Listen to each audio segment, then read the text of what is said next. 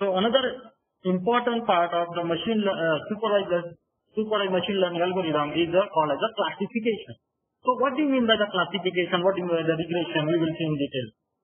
So let us consider to understand the classification. I am giving the one very good example here. It is very uh, is, uh, handy example. So what I am doing here, this is one of the output given by the machine learning model and uh, my target is here that I want to give the credit card, okay, on the basis of the credit score. So if your credit score is good, then and then I will I will issue the credit card to uh, any person. Otherwise, I will uh, I will not allow anyone to issue the credit card to that particular person. So let us consider I am a manager and I want to take one decision.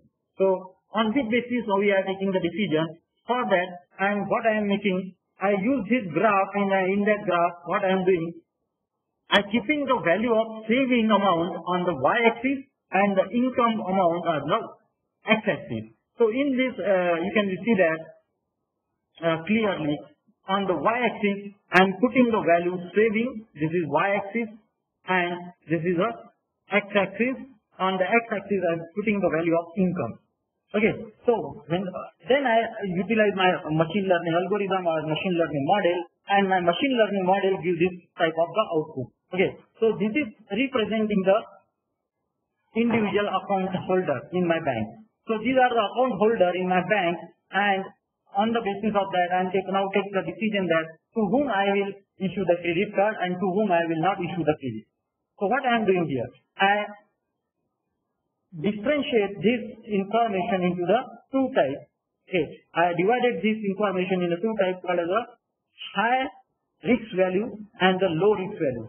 Okay. So this is the value, this is called as a high risk and this is called as a low risk. Okay, so the person they are belonging to this category, this uh, area, we can say that these are the low risk. So if uh, if I am giving the credit card to this person, so there is a very low risk that they will not providing the, they will not return to my amount. Okay, but the person they are belonging to this category that is called as a high risk category. Okay, high risk category So there is a very high risk if I am issuing the credit card to these people because there is a some reason. Now what is the, what are the reasons? First we will see. So as I mentioned that I am keeping the income value on the x-axis and the y value uh, that is a saving. So this person having very low income and also he don't have the good saving. So this person don't have the good income also and he don't have the saving also. So obviously they are keeping in a high risk. So I am not providing a credit card to these people. But as compared to this, you can see that this person having a good income and they, they are having a good saving also. So obviously I will issue the uh, credit card to this person because this person having the good income as well as he has a good quality, good saving. Same thing is here happen. He has a good income, but and also he has a good saving. So these people to these people, there is no doubt to issue the credit card because they are in a safe zone. So these people are the, having in a low risk, so we can be say that we can easily allow to them uh, to issue the credit card. But what about these people and what about these people? Now let us consider there is another example. So this, see, this is a high risk person, so obviously we are not providing the uh, credit card to them because they have the low income and they, they have the low saving also. Okay. But what about these people? What about these people? What about these people? And what about these people? So you can see that these people having the good income, but their saving is very low. Okay, even though they have the good salary, but they are uh, uh, they don't have the good saving. So you have to take a decision: Are you allowed to these people to uh, issue the credit card or not? Then another one: these people having the good saving, but their their current income is very low.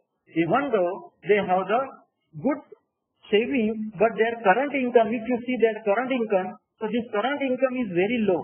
So obviously you have to take a decision now.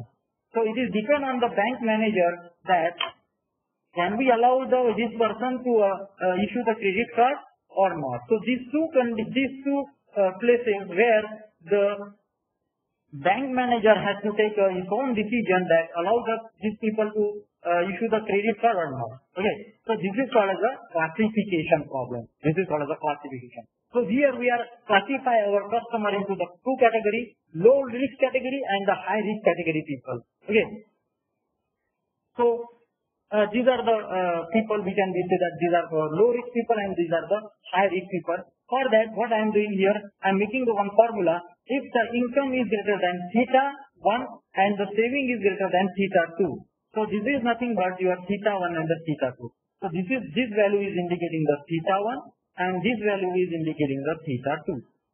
So this is your theta 1 and this is your theta 2. So any person is belonging to belonging to this category, any person is belonging to this category, can we say that you are not allowed to them to issue the credit card because they are in a high risk category. They are coming to the high risk category. Okay, but any people they are come to the low risk category, you can allow them to issue the credit card because they have the good income and they also they, they also have the good saving amount. So you can allow them to uh, issue the credit card. So this is called as a classification problem.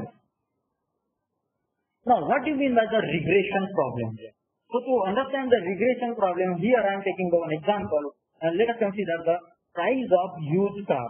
So all of you know that on the OLX or any other uh, uh, e-commerce website, the used car are sale. Okay, so they are also use the machine learning algorithm or they are also use the artificial intelligence uh, because it play a vital role uh, to uh, predict the some value. Okay, so for that to uh, to predict the some price of the used car, I am using the one, uh, one formula and that formula is nothing but y is equal to wi plus wy, where y is your target value and x is your input value. Okay, so x is your car attribute. So car attribute, so what do you mean by the car attribute? That is a good question.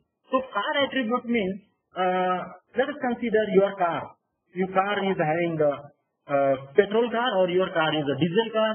Your car uh, mileage, okay, uh, then your car size, it is a small car, small size or it is a medium size, it is a large size, then the type of the car, for example, it is a sporty car or it is a non-sporty car, okay, uh, so these are the some features or car attribute you have to add uh, when where you want to uh, want to sell your car, okay. So I am keeping this all the car attribute as a x value and uh, the y is nothing but your price. Here we are predicting the y value here. So for that I am making the one formula and that formula I say that y is equal to g of x theta. So what is the g here? So the g is indicating the model. So model is nothing but your machine learning algorithm. So you can select any machine learning algorithm and this machine learning algorithm this machine learning algorithm, uh, I am providing the value of x and the theta. So x is nothing but the car attribute. For example, size of the car, then the car uh, mileage, then the car petrol or uh, it is a diesel car, it is a uh, sporty car, it is a non-sporty car. Okay, uh, for example, let us consider various attributes we are, it is a AC car or it is a non-AC car, it is a fully loaded car, it is a non-fully, uh, it is not fully loaded car. So, such a kind of attribute we are providing to this my model and the theta is my parameter. Okay, so different parameter I have to consider uh, when where I uh, predicting the uh, value using the regression.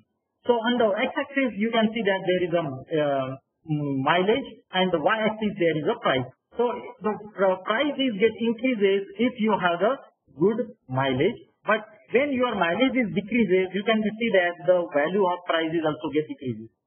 Okay, so this is a very good uh, uh, graph I, I would like to share with you that.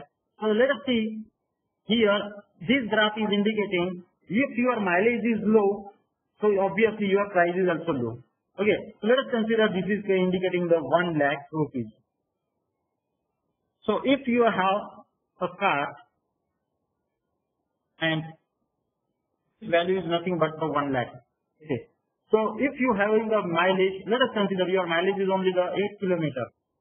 So your, uh, your mileage is 1 8 kilometer. Okay. So this is a, uh, your prices get decreases. But your prices get increases when you have a good mileage. Okay, so your mileage is also good, so you can get a good price. And opposite that, if you have a, um, if your mileage is uh, uh, is not good, so your price is also decreased. So this is called the regression problem. We can say that using the regression problem, we can predict the value of used car. This is an example of the regression.